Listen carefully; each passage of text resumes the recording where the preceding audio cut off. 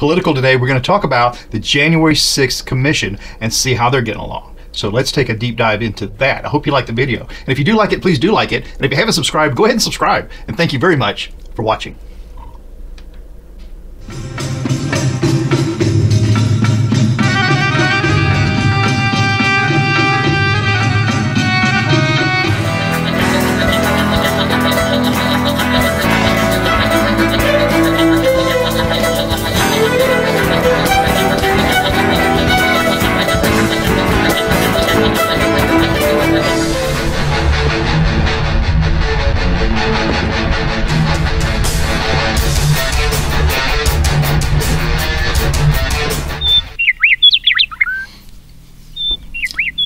Hi, I'm Mark. And this is my journey through tarot.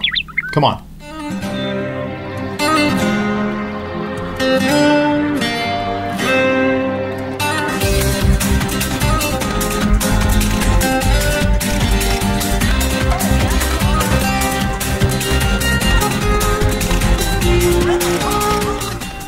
I mean, my gosh, it really looks like things are heating up with that January 6th committee. They've had hundreds of testimonies. Uh, they've struggled with these few people who don't want to come in, and um, why wouldn't you want to? And unless you're hiding something, and uh, and of course, once those people come in, they've already got the answers. They know what they're going to ask them, and and then once they lie about the answer, then that just you know. So uh, let's see.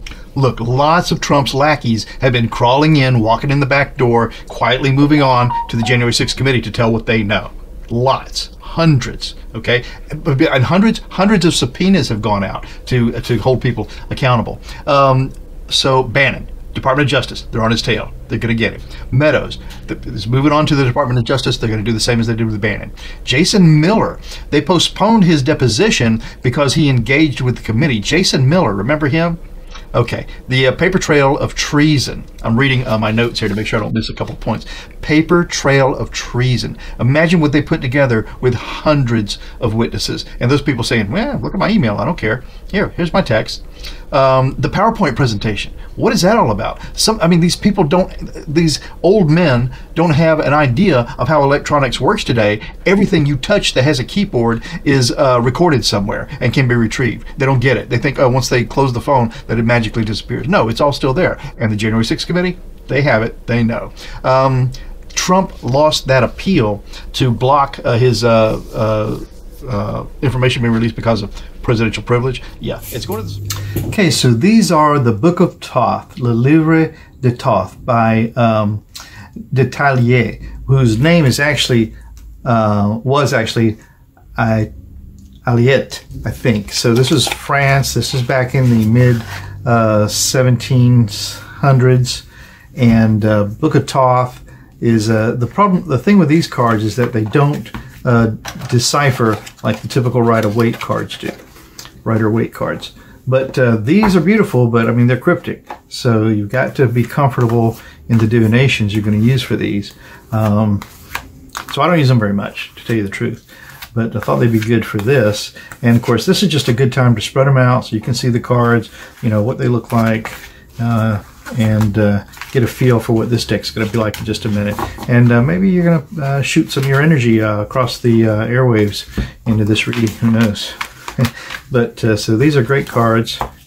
I like them, but they are hard to use if you don't use them every day, I think.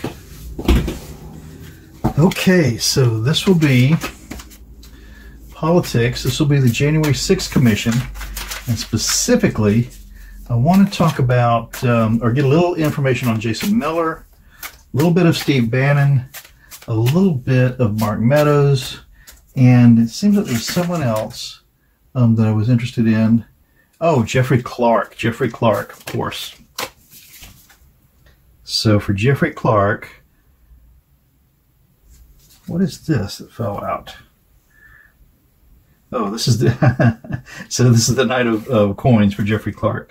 Uh, let me see if I if my cards are inverted because I'm not happy to have them inverted. This is inverted and this is straight up. Okay, so January 6th, committee. Let's see what we can find out. Let's go right down that list. First, we'll say Jason Miller. I'm going to tell you a little bit about Jason Miller quickly, even though I didn't. Now, he was the uh, was the uh, a communication st- strategist and a political advisor to uh, number 45 and he was part of that transition team but he had a problem he was uh, supposed to um, be on that commission the communications director during the presidential transition but he withdrew because he, affair, he had an affair with a campaign staffer where a child was born from that affair and then he went on to work for CNN. Then he was accused in 2018 of drugging his pregnant, pregnant mistress with uh, an abortion drug. And then in 2021, he became a contributor for Newsmax, which is a propaganda, a propaganda rag uh, electronic. And then um, then he became CEO of that uh, dark web uh, site, which was supposed to be something like Twitter called GETTR. And um, so Jason Miller so let's see. And it's understood that he has been in communications with the January 6th committee. So I just want to know in three cards, are you providing information to the communications to the January 6th committee that's uh, detrimental to Trump? Just that simple. Detrimental to Trump. Signifier card for that is the Five of Cups. And the Five of Cups is uh, typically uh, depicted as um, having um, in the Rider Waite deck as three cups up and three cups spilt. Uh, uh, two cups up and three cups spilt. So, um, so this is loss. So this is uh, compassion. Uh, this is emotion. This is um, you know, all mixed up with those kind of emotions. And so the first card out of the pack for Jason Miller regarding whether he's uh, spilling some information that will be detrimental to Trump is that yeah, there's some of these, these some of these uh, cups have been spilled, and there's a couple that are still up. Second card for Jason Miller in that regard is the Six of Cups, and that's remembering how things were in the past, a better time. So, and then the last card for that is this. Uh, okay, this is the Three of Wands and so this is um, long-term planning. So it looks like, yeah, he's given up some of what he of, the emotional information that he knows. Um, probably wishing that things were like they were before he had to do that, and he's trying to make sure he's got some long-term plans to protect himself uh, throughout this situation by uh, spilling to the committee. Now, for let's see, Jeffrey Clark. Let's talk about Jeffrey Clark really quickly. Jeffrey Clark Jeffrey Clark. No, you know what? We're going to not do that. We're going to talk about um, Steve Bannon. Steve. Steve Bannon. Steve Bannon. Okay, Steve Bannon. Because he is, as uh, the DOJ has uh, found him in contempt, and uh, he's facing le legal um, issues with that. So, Steve Bannon, are you going to go to jail? That's all I want to know. Steve Bannon, are you going to go to jail? That's what I want to know. Three cards. One, two, and three. Steve Bannon, are you going to go to jail? So we know that Jason Miller is spilling some information, and let's see what Steve Bannon has. Okay, so this is prudence. Ah, prudence. This is looking at yourself in the mirror and uh, trying to decide, you know, what's the most um, you know, the, the most prudent thing that you can do in your own regard. So prudence. The second card for that, whether he'll go to jail, is oh, this is very interesting. So this is the card in this deck that um, leaves this up to the uh, um, reader's uh, intuition. It's named for the fellow who developed this deck, Etteilla, and um, it's and so la questionante. So for me, I'm going to say yes, he will. But let's see what the last card uh, brings for us. And this is the uh, the femme blonde. So this is the Queen of Cups. So lots uh, of, of um, emotional issues, very much in control of that. I think I need one more card out of here to help with this. And Judgment. Okay, there we go. So it looks like certainly there will be judgment for Steve Bannon. Okay, so he started out with prudence, looking at himself in the mirror, deciding what's the best thing for him. This leaves it up to the interpreter's in, interpretation, and I say that yes, he will uh, go to jail. And then the final card in this is uh, the Queen of Cups. Uh, cups are emotions. The Queen is very much in charge of her emotions. And then the last card I pulled at the last minute, right out of the middle of the, of the stack, was Judgment. So I say that, yeah, it's an emotional situation he's come down a peg from what he thought he was as a king, and uh, and that he will have to pay a, a, legal price for that. Okay, so that's Jason Miller and Steve Bannon, two wonderful guys, huh? So now the third one that we want to see is Jeffrey Clark. So Jeffrey Clark was the Jeffrey Clark was the attorney who Trump was going to name, and his remit within the Department of Justice had nothing to do with uh, these types of issues. Um, I forget the department that he was in, and I'm not going to take the time to look it up while I'm uh, filming. But um, he had circulated a letter that he constructed for the states, uh, giving them an idea of how they could uh, delegitimize the certified votes and um, and send on something else to uh, Washington, uh, some other electors that would nominate Trump. So uh, that is who Steve Clark is. I want to know, and he's cooperating apparently now with uh, the committee. So I want to know, and he's a lawyer. He's not stupid, but he's just misguided really in a big way. I mean, he was one of the architects, I would say, of uh, a, a good part of this insurrection. So Jeffrey Clark, attorney, are you going to jail? One, two, three. And I'm coming up with these questions right now, right off the cuff, so that they'll be fresh. So Jeffrey Clark, you wrote that letter telling the states how they could send their own electors instead of who the voters wanted. Are you going to jail? So this comes up with the uh, page of coins. The page of coins. You know, the page is bringing a message to the court of value, and that's exactly what he's doing right now. He's bringing a message of value to that committee. The next card for that is again the Queen of Cups he's down a peg from who he thought he was. This is an emotional situation. And then the last card for this is the Four of Cups. Again, emotion, compassion, you know, very uh, fraught with uh, emotional issues. And the Four of Cups, typically in the Rider Waite deck, is depicted as uh, someone being offered a cup. They have three, they're being offered another one that they really don't want. So it could be that he does get some sort of an offer, um, not quite what he uh, wanted to get. But um, my question was, uh, will he go to jail? And it looks like he may get some sort of an offer to um, to make that a bit more palatable because he's brought some good information to the to the team. The last one that I want to talk about uh, right now, we'll do a, a, a, full Celtic cross for this one. No, I think we'll do three cards. Three cards for Mark Miller. Mark Miller.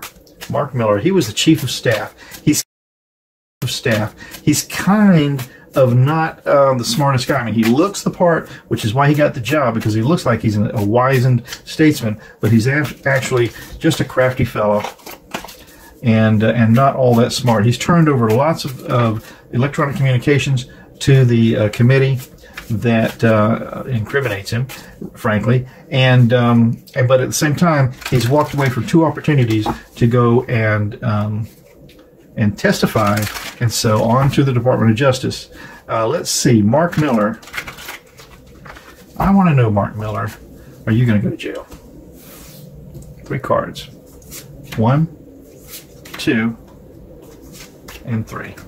Then the last uh, draw we do will be for the January 6th committee itself. So three cards, Mark Miller, Chief of Staff, are you going to jail? So this is the uh, six of coins. The six of coins, okay, now my mine's a blank. The six of coins, I'm going to look it up because I don't want to be wrong in this. And uh, the coins are right here. Six of Pentacles. Oh yeah, the Six of Pentacles is um, is in the typical Rider Waite deck. You may remember that there's someone there who's kind of doling out the money to the peasants. Okay, so the Six of Coins. So he is in fact, or value, he is in fact doling out the value that he has. The next card for that is this Four of Swords, and the Four of Swords is telling you you better take a break. This is truth, justice, rules, and law. Is telling you you better lay down and take a break. This is typically the guy that's laying down on his uh, coffin actually uh, before he gets up, and uh, so yeah, this is telling him you better be very cautious about what you do at your own peril. And the last card for this, will he go to jail? Ah, the Two of Pentacles is a balance. So he's trying to perform some sort of a balancing act to keep him out of trouble. He's turned over lots of information to the January 6th committee that is incriminating, and I think he's trying to find some way for it not to come out of his mouth himself. That's interesting. Will he go to jail? I'm going to take one more card. And this is the Nine of Cups. This is wishes fulfilled. So I'm going to say no, he's not going to go to jail. Okay? Now, we'll do a full Celtic cross for the January 6th committee. The January 6th Committee, the January 6th Commission on the Insurrection. And they've already had hundreds of uh, interviews uh, regarding this issue. Let's see what these are. Three of coins, broken heart, and four coins, uh, caution in regard of rules and law. So let's see. I'm all thumbs today. Let's see this January 6th committee, full Celtic Cross, January 6th committee, whatever the cards can let us know about the success that uh, will they have success in uh, in this investigation, and uh, and then for the last part of that, I'm going to want to know if they'll be able to set some some standards uh, that will help prevent this from happening again. So the January 6th committee, whatever we can know about their success in this investigation with these first six cards. Okay, so this will be one, two, three, four, five, and six. Okay whatever we could know about the January 6th committee's success in their depositions or investigations so far. So, wow, this is great. So, this starts out with, uh, well, I wanted to say that this is a um, an ace of pentacles, but it's not. As a matter of fact, this card in this deck is called Las Plantas. So these are um, uh, like a, a, nature card, a fruitful, abundant, um, and um, so yeah, there's lots uh, here to be gained. All right, so that's a signifier, lots to be gained. The challenge to that is this, uh, let's see, this is called the Despot Africain. So this is the Emperor, exactly. Okay, so this is the Emperor card. So this is, uh, all this fruitful uh, gain that there is to be had is challenged by this emperor being in complete control. So I don't find that a challenge at all. I think that's all being this emperor has got all the uh, power that he needs uh, to uh, to make happen what he ex ex expects to happen. And uh, this card upright is called dissension. If it were uh, reversed, it would be called arrogance. So I would say that this this challenge to all of this um, prosperity is is is knowing how to use that. I'll keep it for there for now. The base of this reading then is the six of coins. And like we just said, six of coins is doling out this information, okay? Uh, being in charge, the one who's going to say this value goes here, this value goes there, this value goes there. And that's sort of where they are right now. They're collecting all this information in and deciding in what pot it goes for future use. The past of this reading then is the queen of coins. Okay, so they came into this, and so the queen of coins, this almost seems to me like um, Liz Cheney, but they came into this with a strong feminine power to get to the value and, and, and control the value of what's going on here. The sky of this reading then, with this, uh, let's see, this is the man at quadruped, this is strength. Okay, so this is strength, and so this is the fellow who is going to re- and in the sky. So they're shooting for all the strength that they can possibly find. Remember, these are not images that you can easily relate to the Rider Waite deck. This is a Thoth deck, which is very uh, personalized for the person who created the deck. And this is back in the mid uh, 1400s, the 15th century. So in the sky of this is strength. And uh, it's also mentions voyage. So yeah, this is a, a strong uh, journey. Uh, they're aiming for the sky in this one. The likely outcome of the first part of this, with this, okay, this page of coins, and I love when the cards do repeats. And this page of coins, these are messengers bringing value to the court. So, yeah, I have to say things are coming in. The last part of this, I want to know, is, so they're being very successful in gathering their information, is what this tells me so far. But for the last part of this, I want to know if they're going to be able, at the end, when it's all over with, however long that takes, years, whatever, are they going to be able to institute some some some some balances, some checks that will protect our democracy from the information they've gained? And so the signifier of that question, the self of that question, then is this five of swords.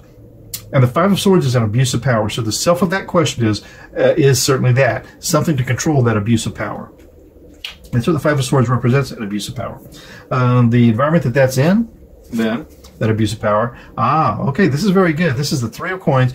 Three of coins. I always like in this uh, in the top of this. This is called noble. So this for me, uh, which is um, is always the three of coins for me is putting something together, collaboration, something for public display. So yeah, that is very promising. So we have an abuse of power and then putting something together. It's in the environment, putting something together for public display. Looks like they will. Uh, the hopes and the fears of that then with this three of swords is um, uh, typically this is a broken heart. So this is, um, I would say, disappointment, um, heartbreak over here in the hopes and the fears, I feel more drawn toward the uh, fear part of this that we uh, don't come into some sort of heartbreak from this thing. Uh, let's see what the last card is for the final outcome for the whole thing. Ah, it, it, this is the Two of Swords. Remember, Swords of Truth, Justice, rules and law. Okay, rules and law. And this is telling us it's still up in the air. There's a decision to be made. It can go one way or the other. And I'm going to draw one more card to see if it lends any more clarity, no more than one more card, as to whether they will be able to establish something that will help protect our democracy.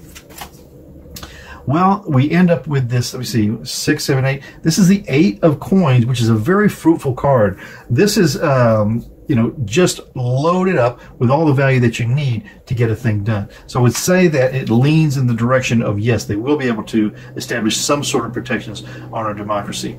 So let's go over that one more time. So um, we wanted to know uh, if the information they're gathering is useful, and we get this uh, uh, signifier card of very fruitful. Uh, it's called Les Plantes. So yeah, this is very fruitful, very uh, abundant, and it's challenged by this uh, emperor. Okay, so the emperor for me is still the January 6th committee gathering all the information they had. If and that's how I think it, it, depends on how they manage all this bounty that they bring in. And down here in the bottom just kind of reinforces that because at the base of this reading, we have the Six of Coins, which is doling out that wealth to the appropriate uh, recipients. Uh, the past of this reading, with this Queen of Coins, I think this puts the women who had uh, been in charge, really, in my mind, of forging this January 6th committee. Um, this shows that feminine energy of getting things done. In the sky of this reading, uh, we have what you would shoot for here, and this is strength. And so they're going for to get every bit of use they can out of that. And uh, the final outcome of this is that there is a steady flow of information pages coming in with this information, this valuable uh, information. Then I said, but will they establish something that will protect our democracy? And the first card I get for the um, the self of that question is the abuse of power, this Five of Swords. Is this a Five of Swords? No, I'm completely wrong. This is not, I'm glad I read it again. This is the Five of Wands. And the Five of Wands is kind of endless fighting. Um, I wish it still was abuse of power, but it's not. It's the Five of Wands. You can see it right here, batons. So this is useless fighting, argy bargy, bargy, okay, conflict that's not particularly productive. Okay, and that's in the environment of this three of, of coins, which is in fact uh, value and putting something together for public display. So there's going to be quite a bit of conflict towards that goal, as a matter of fact. The um, hopes and the fears for this is a broken heart with this three of swords. So now that changes this meaning quite a bit because it means that perhaps they're not going to be able to achieve what they had hoped to be, achieve. And up in the sky in this reading for the final outcome, we have this two of swords, which is having to make a choice of what way to go, rules or law, truth or justice. That's interesting. And I wanted one more card for a bit more clarifier. And I get this eight of coins, and I'm just going to go for a better definition than what I pulled right out of my head. And the eight of coins perfecting skills, gaining knowledge, uh, yet motivation. So yeah, so this eight of coins is uh, like the apprentice. Okay, really practicing that craft until they get it right. So it looks like there will be some some well uh, placed, well practiced uh, uh, value that comes out of all of that. That will in fact help somewhat to protect our democracy. That's how it looks to me. Well, that was interesting. I think, anyway. What do you think? Uh, did you get some different interpretations on some of those cards? Because that's completely valid. Re- remember, we're, we're taking this from our own points of view. There are just a few things that are concrete as far as who went in, who didn't go in, what the committee said, what they haven't said. You know, those things are set in stone. But interpretations of what the cards are saying, yeah, what you're thinking is valid. Of course, I feel what I've thought is pretty valid too. So let me know in the comments. I'm Mark, My Journey Through Tarot. Tomorrow's another day. Stop by. We'll do it again. Ciao for now.